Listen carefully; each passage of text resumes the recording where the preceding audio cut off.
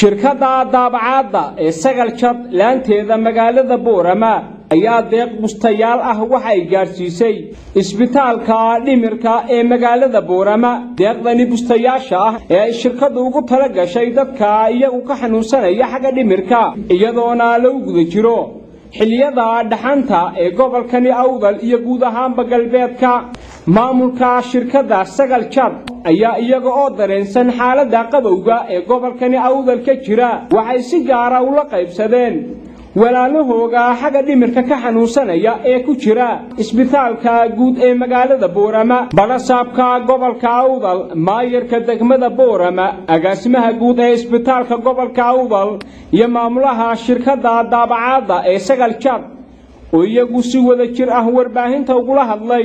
Halka ay ka dhacaysay munaasabadani ay bustayaasha ugu wareejinaysay. Isbitaalka guud ee magaalada boorama. Nahay shirkadda daabacadda sagal qaybteeda galbeedka. Waxaanu soo booqonnay walaalahayo qaybta dhimirka ee ku jira dhakhtarka weyn ee boorama. Waxaan ugu talagalnay bukaanjiifka dhakhtarka walaalahayo inaanu caawinno baahi loo weyn oo loo qabo maanta jirto dhaxan weyn oo aad u daran inaannu keennay wixii loo baahnaa oo aad u yar aanan dib noogu soo noqon doonno hadduu eebba idhaahdo inaan deeq bustayaala aan guddoonsiinno walaalahayo qaybta jiifka ee bukaan dhimirka t bdaba marka waxaan guddoomiyaha gobolkana ku wareejinaynaa qaybtaa oo meelo kale aan ka qaybin doonno inaan ugu wareejinno qaybtaa bustayaasha ah walaalahayo jiifa ee bukaanka. Waxaannu ka damqannay walaalahayo oo dhaxan xooga ay hayso gaar ahaan qaybtaa curyaamiinta ah iyo dadkaa lixaad kala inaannu qayb yar wax yaroo keliya weeyaan oo aan u maqannahay inaannu guddoonsiinno bustayaal hanaga guddoomaan qor ururka soowad ee tabarucaadka dadka curyaamiinta waxaynu runtii halkan maanta ku guddoomaynaa bustayaashan iyadoo wakhtigii dhaxantaan ku jirno oo ay ugu tala galeen walaalhoga dadka bukaanka ah ee dhimirka iyo t bda kuwa t b labadaa qaybood in mataqaana loo qaybiyo t b agaasimeegii maxamed madi garab tahay dhaktar maxamed garab taagan yahay? Runtii iyadoo ay goobjoog maanta ka yihiin meerka degmada iyo guddoomiyaha gobolka labaduba waxaan ka guddoomaynaa shirkadda sagal jad qaybteeda galbeedka. Aad baan ugu mahad celinaynaa. Deeqdan ay sagal jad qaybteeda galbeedku ugu deeqday dadka xanuunsanaya ama t bda ahaato ama qaybta dhimirka ahaatee.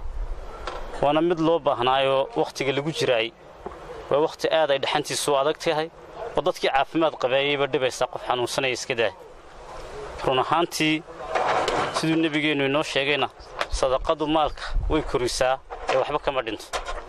Waana mid loo baahnaa kudayashana mudan oo ganacsatada kalena waxaan leenahay. Meeshii loo baahnaabay sagal wax ku bixisee inaad ku dayataan bay mudan tahay.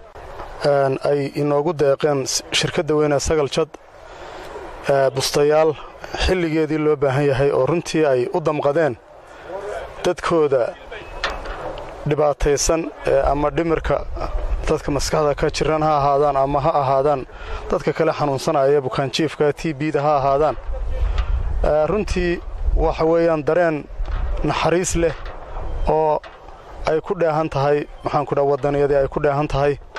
Aad iyo aad iyo aad baan uga mahad celinaynaa shirkadda sagal jad dareenka naxariista leh ay ku eegeen dadkooda. Shirkadda sagal jag oo ah tuka damqatay dhaxanta dadkaa dhibaataysan ee naafada ah ee yar ee intaa tiradoodu leeg tahay dhaxanta haysataa inay ka caawiyaan oo siiyaan bustayaal. Ruuxa waxa yar keenaa wax badanna wuu keenaa. Aad baan uga mahad celinaynaa jisaakallaa khayr baan leennahay waxaan aad iyo aad ugu mahadnaqaynaa aan ugu mahad celinaynaa shirkaddan sagal jar ee qaybta galbeedka ku soo tabarrucday dadka naafada ah ee dhibaataysan. Wakhti ay munaasab tahay oo dhaxan aadihii jirto.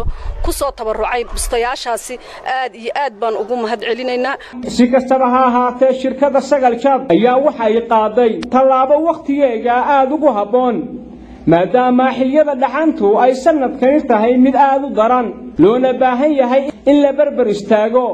Dadka danyarta ah waa nuux kadiye telefishinka caalamiga star boorama